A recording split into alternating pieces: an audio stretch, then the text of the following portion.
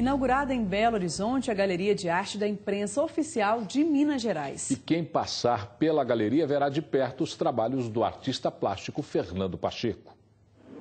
O painel retrata os 120 anos da imprensa oficial de Minas Gerais, em uma mistura de cores e elementos de escritores e poetas mineiros.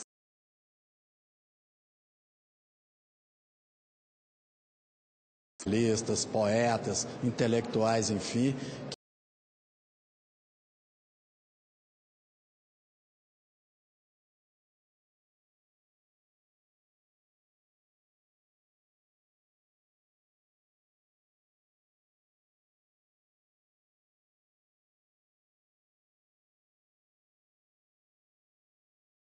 Sou um mágico.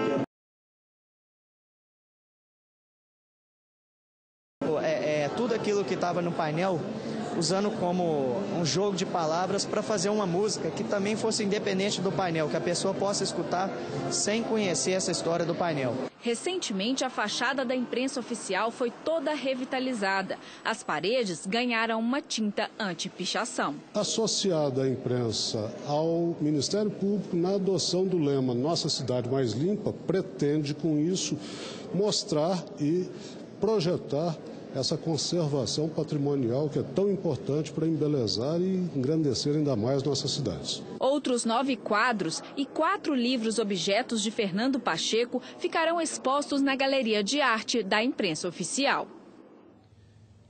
E a exposição vai até fevereiro, aberta ao público de 9 da manhã às 5 da tarde. A imprensa oficial fica ali na Augusto de Lima, número 270, no centro de Belo Horizonte. A CDL Belo Horizonte divulgou hoje os resultados de uma pesquisa feita com lojistas e consumidores. Para mais de 60% dos lojistas pesquisados, as vendas no comércio apresentarão um crescimento de mais de 15% em relação ao ano passado. O cartão de crédito será o responsável por mais de 80% das compras, com um valor médio de gastos de 100 a 150 reais. As roupas responderão por mais de 50% das vendas. Já na visão dos consumidores, mais de 40% das compras serão feitas em dinheiro, com um valor médio de 50 a 75 reais. Eles indicam que farão as suas compras na semana que antecede o Natal.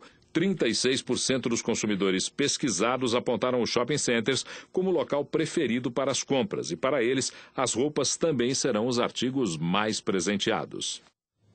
No aniversário de 115 anos de Belo Horizonte, quem ganhou o presente foi a torcida mineira. Foi feita hoje a última vistoria no Mineirão antes da inauguração.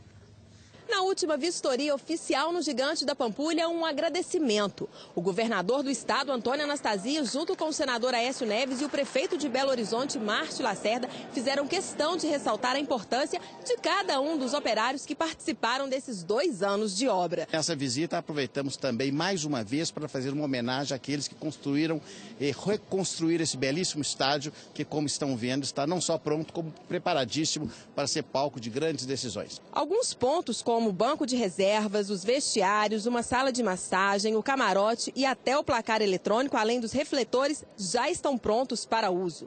Falta pouco para a entrega oficial do estádio, que vai acontecer no dia 3 de fevereiro com o clássico Cruzeiro e Atlético. Até lá, esse gramado aqui, ó, já vai estar no ponto para a bola poder rolar. Andresa Guichevski para o Jornal Band Minas. Mas antes de Cruzeiro e Atlético, o Mineirão será aberto no próximo dia 21 com o show da banda J Quest. Serão liberados entre 15 e 20 mil ingressos para o show, segundo a Secopa. Os ingressos serão adquiridos por meio de troca de alimentos não perecíveis. Os postos de troca dos bilhetes serão divulgados até o próximo dia 17. O novo técnico do Cruzeiro, Marcelo Oliveira, esteve hoje na sede do Grupo Bandeirantes e falou sobre os projetos do clube para 2013. Não vai faltar trabalho, não vai faltar preparação, não vai faltar comprometimento e entrega no Cruzeiro. Vocês podem ter certeza, esse é o, a tônica do nosso trabalho. Ah, aqueles que estão no Cruzeiro também são, são muito dedicados e grandes profissionais. E nós precisamos de voltar a vivenciar a tradição do Cruzeiro. O Cruzeiro é uma equipe que tem, é um clube que tem duas Libertadores, tem quatro Copas do Brasil, tem dois brasileiros, tem inúmeros campeonatos aí sul-americanos também. Então, é nesse sentido e com esse sentimento que a gente vai começar o trabalho. Por hoje é só. O Jornal Band Minas desta quarta-feira fica por aqui, desejando para Belo Horizonte, essa jovem cidade de 115 anos, muita paz e prosperidade. E que todos nós que aqui vivemos possamos fazer dessa cidade uma cidade cheia de bons motivos para sermos felizes.